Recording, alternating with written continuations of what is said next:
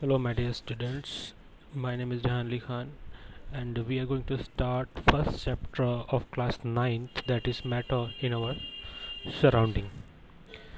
So, matter in our surrounding is our chapter, and the word matter. Let's decode the word matter. What is matter? As clearly written the definition of matter, anything that occupies space, has mass, and is felt by senses is called matter. Clearly written. तो अब इसको समझ लेते हैं, ये है क्या? Matter actually में होता क्या है? देखो मैटर वो चीज़ है जिसके पास मास होगा, ठीक है? जिसको जो स्पेस ऑक्यूपाई करेगा और जिसको आप छू सकते हो, ठीक है? सपोज़ किसी के पास मास है और वो एक स्पेस भी ऑक्यूपाई कर रहा है, पर उसे आप छू नहीं सकते तो उसको आप मैटर नहीं कहोगे। मैटर वही होगा जो इसका मास होगा, जो स्पेस ऑक्यूपाई करेगा और जिसे आप छू सकते हो। महसूस कर सकते हो। वो मैटर है, जैसे चौक डस्टर ब्लैक बोर्ड आपका पेन कॉपी बैग ठीक है, ये सब क्या है मैटर है? आप खुद भी क्या हो? एक मैटर हो। आपके पास भी है, आप स्पेस भी ऑक्यूपाई करते हो और आपको छुआ भी जा सकता है। तो आप क्या हो? मैटर हो। लेकिन मरने के बाद आप मैटर नहीं रहोगे, ठीक है? क्योंकि आपको फिर कोई छू नहीं सकता। तो मैटर को हम भी कह सकते हैं जो दिखाई दे, ठीक है? जो दिखाई दे, महसूस हो, वो क्या है हमारा? मैटर है। तो इसके आधार पर हम कह सकते हैं कि जो मैटर है, वो पाँच चीज़ों से मिलकर बना है, ठीक है? Next line is matter is the form of five basic elements the पंच तत्व, जैसे air earth fire sky and water ठीक है? तो जो हमारा मैटर है, वो पाँच चीज़ों से मिलकर बना है। आप हवा earth fire sky and water now matter की करेक्टरिस्टिक्स की बात करते हैं। What are the characteristics of matter तो कोई भी चीज़ है, ठीक है? जो मासिक पाई करती है और जिसे छुआ जा सकता है, देखा जा सकता है, महसूस किया जा सकता है, वो किसका बना होता है? तो वो बना होता है आपका टाइनी पार्टिकल से। जैसे कोई भी एलिमेंट है, वो किसका बना है? एटम्स का बना है। जैसे हम अपनी बात करें, अगर ह्यूमन बींग्स की बात करें तो ह्यूमन बींग्स में क्या है? आपकी सेल है, ठीक है? सेल में क्या होगी? आपकी सेल किससे बनी है? कार्बन से, ठीक? तो कार्बन भी क्या है? एक टाइनी पार्टिकल है, एक एटम है। Vacant space exist in particles अब देखो, जो भी मैटर होगा, ठीक है, उसमें टाइनी पार्टिकल्स होंगे। जो टाइनी पार्टिकल्स होंगे सपोज़ कि जो आपके एटम्स होते हैं, जो आपका एटम होता है, वो कैसा होता है? स्फेरिकल होता है, इस तरीके से। ये आपका टाइनी पार्टिकल है। तो अगर ये सारे टाइनी पार्टिकल्स आप एक साथ रखोगे, इस तरीके से, आपने रखे तो देखो, इनके बीच में कुछ स्पेस रह जाएगा कि नहीं रह जाएगा? ठीक है? कुछ खाली स्पेस आपको इनके बीच में नज़र आएगा। ये जो स्पेस बच गया, अगर रखोगे सपोज़ आप बॉल्स लेके आओ, ठीक है? जो, जिस बैट बॉल वाली जो बॉल होती है, उसको लेकर आओ, उसको रखो स्पेस बना के। तो आपको दिखेगा कुछ स्पेस उसके बीच में रह जा रहा है, ठीक है? उसके, इसीलिए कहते इसीलिए लाइन को यहाँ पे मेंशन किया गया है क्या? कि जो मैटर है, जो टाइनी पार्टिकल से बना हुआ मैटर है, उनके बीच में कुछ स्पेसेस रह जाते हैं right next particles are in continuous motion जो पार्टिकल्स होते हैं, वो क्या होते हैं? कंटिन्यूस मोशंस में होते हैं। इसके बाद, इसके ऊपर हम बाद में डिस्कशन करेंगे इस लाइन के ऊपर कि वो कंटिन्यूस मोशन में कैसे होते हैं, ठीक है? वो आगे भी आगे समझ जाओगे आप। Particles are held together by force of attraction particles are held together by forces of attraction अब देखो, जो भी आपके टाइनी पार्टिकल्स हैं, उनके बीच में क्या है? एक फोर्स ऑफ़ अट्रैक्शन होता है। अब ये फोर्स ऑफ़ अट्रैक्शन क्या है? इसको सिंपली अगर मैं कहूँ कि सपोज़ कि आपके दो आइटम्स है, एक कार्बन का आइटम ले लो, ठीक है? तो इसमें एक इलेक्ट्रॉन है और एक ले लो ये दूसरा कार्बन एटम है इसमें एक इलेक्ट्रॉन्स होंगे, ठीक है? इलेक्ट्रॉन्स के ऑटोमोस्ट शेल में होंगे और पॉजिटिव चार्ज होगा इनके न्यूक्लियस में, राइट? क्योंकि न्यूक्लियस में क्या होता है? न्यूट्रॉन और प्रोटॉन प्रोटॉन में पॉजिटिव चार्ज है और ऑटोमोस्ट शेल में इलेक्ट्रॉन्स में निगेटिव चार्ज है। तो ये जो पॉजिटिव चार्ज होगा इस वाले का, यानी कि इसको ए एटम कहते हैं ऑफ़ कार्बन और ये बी एटम ऑफ़ कार्बन है तो जो ए एटम का पॉजिटिव चार्ज होगा, राइट? जो ए एटम का पॉजिटिव चार्ज होगा, वो अटैक करेगा किसके? इलेक्ट्रॉन ऑफ़ बी उसी तरीके से जो बी का न्यूक्लियस का पॉजिटिव चार्ज होगा, वो अट्रैक्ट करेगा किसके? इलेक्ट्रॉन ऑफ़ ए ठीक है?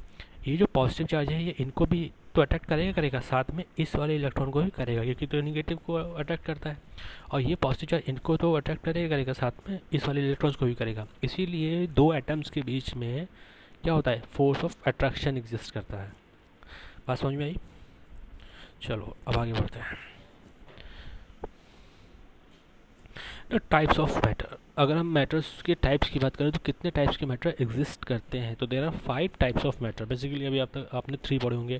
That is solid liquid gas right solid liquid and gas but there are two more category ठीक है? तो मैटर्स क्लासिफिकेशन की अगर बात करेंगे तो एक है सॉलिड दूसरा liquid third gas fourth one है प्लाज्मा और फिफ्थ वन है बोन बोस आइंस्टाइन कंडेंसेट तो there are five types right? Matter के फाइव टाइप्स आपको स्टडी करना है। जिसमें से आपको मेनली जो स्टडी करने हैं जो आपको आना चाहिए वो सॉलिड लिक्विड और गैस बाकी प्लाज्मा और बोस आइंस्टीन कंडेंसेट्स के बारे में ज़्यादा कुछ नहीं दिया है बस थोड़ा बहुत इंट्रोडक्शन है वही आपको प्रिपेयर करना है।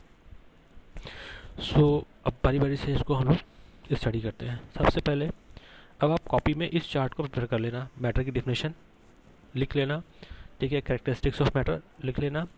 नेक्स्ट आप लिखोगे टाइप्स ऑफ़ मैटर और टाइप्स ऑफ़ मैटर में पाँचों लिख लेना जो वहाँ पर है मेंशन किए गए हैं ये पाँचों टाइप्स ऑफ़ मैटर में। बट अब जो मेन आपको स्टडी करना है वो सॉलिड लिक्विड और गैस को करना है राइट तो ये आपकी क्या है मेन है सॉलिड लिक्विड और गैस ये तीन। इन्हीं को आपको कॉपी में मेंशन करने हैं। तो स्टार्ट करते हैं अपना क्लासिफिकेशन सॉलिड लिक्विड और गैस के बारे में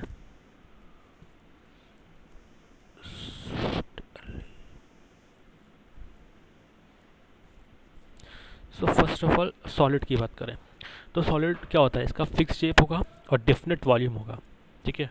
Fix shape and definite volume होगा। लिक्विड की बात करें तो इसका शेप फिक्स नहीं होता है। कैसे? अब भाई देखो, जैसे जो आपका चौक है, उसका शेप क्या है? फिक्स है।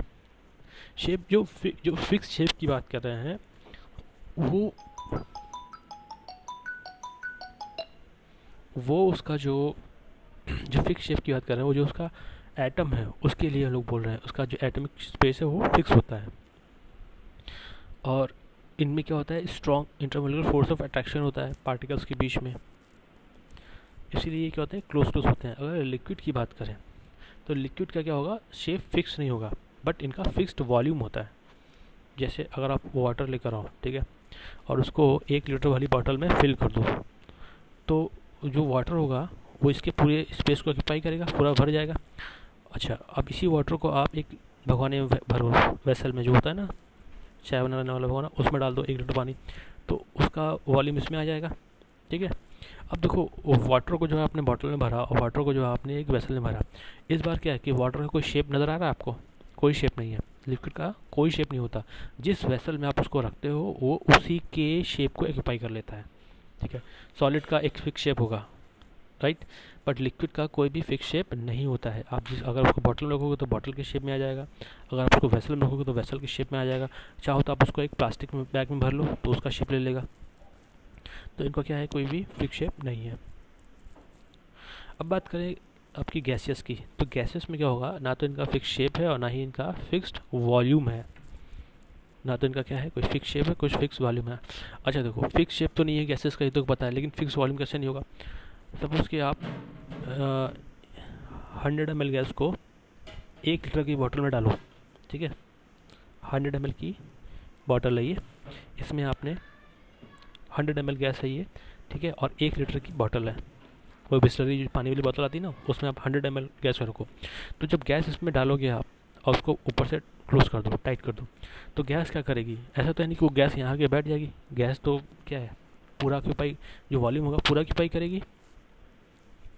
गैस इस बोतल में, और इस बोतल में क्या होगी? पूरा की पाई करेगी। ठीक है? वो ऐसा तो नहीं कि यहीं पे आके सब बैठ जाएगी, क्योंकि लिक्विड होता है, वो आके नीचे बैठ जाता है। लेकिन गैस क्या होगी? वो तो पूरा की पाई करेगी, हर तरफ़ होगी। ठीक है? तो उसका क्या होगा? फिक्स्ड वॉल्यूम में नहीं होगा।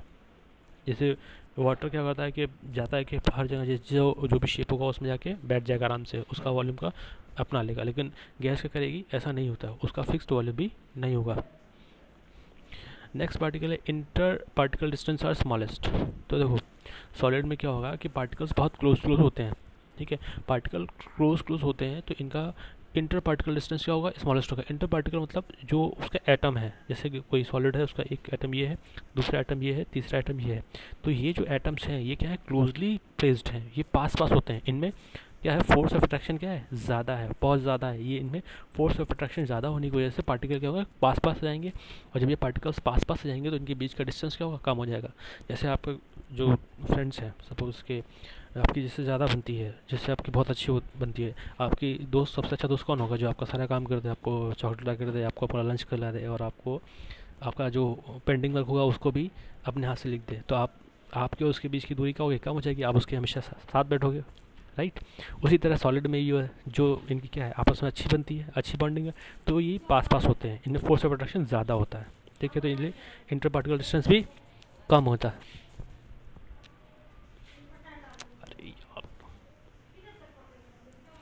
नेक्स्ट है आपका लिक्विड तो इनमें क्या होता है कि इनमें बॉन्डिंग अच्छी नहीं होती है।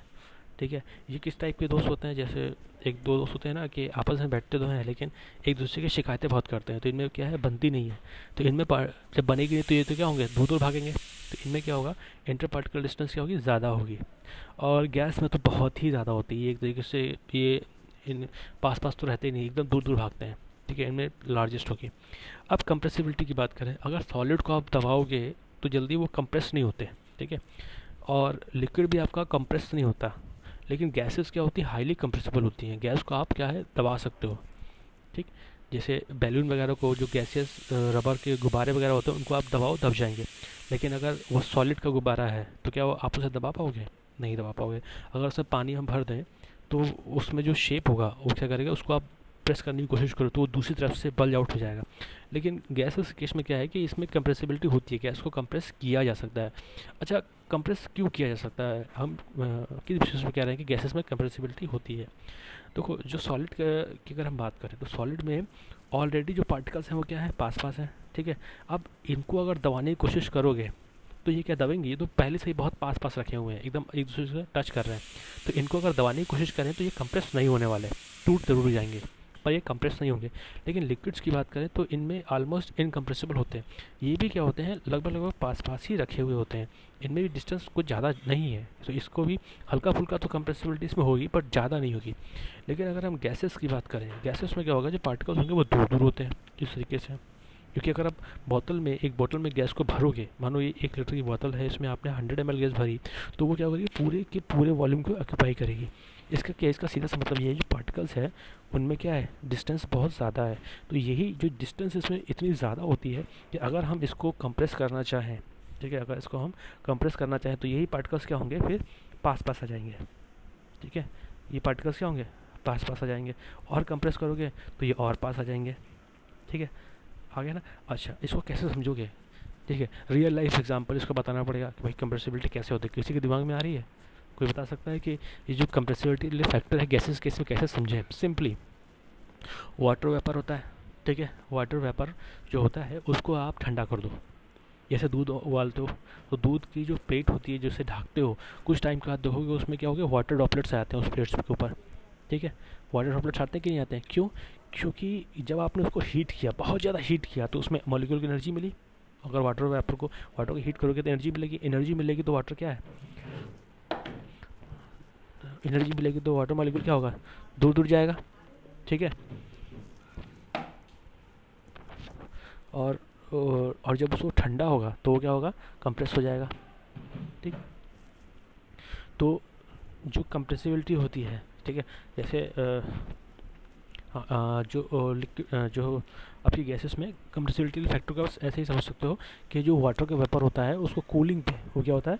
फिर से लिक्विड के फॉर्म में आ जाता है। ठीक है। नेक्स्ट है हमारा high density and do not diffuse density अच्छा डेंसिटी क्या होता है? व्हाट इज़ डेंसिटी सबसे पहले इस टर्म को समझते हैं कि डेंसिटी होता क्या है? व्हाट इज़ डेंसिटी देखो डेंसिटी का मतलब होता है डेंस डेंस वर्ड सुना है? डेंस मतलब क्या होता है? घना। घना जंगल सुना है ना? असम का घना जंगल, सहारा का घना जंगल, ठीक है? तो घना जंगल का मतलब क्या होता है कि जैसे मानो सौ एकड़ का लैंड है, ठीक है? सौ एकड़ के लैंड में वन लैख प्लांट या वन थाउज़ेंड ट्रीज़ प्लांटेड है। ठीक है? ये वन एकड़ के सिंपल करते हैं। वन एकड़ के लैंड में हंड्रेड ट्रीज प्लांटेड है। ठीक है?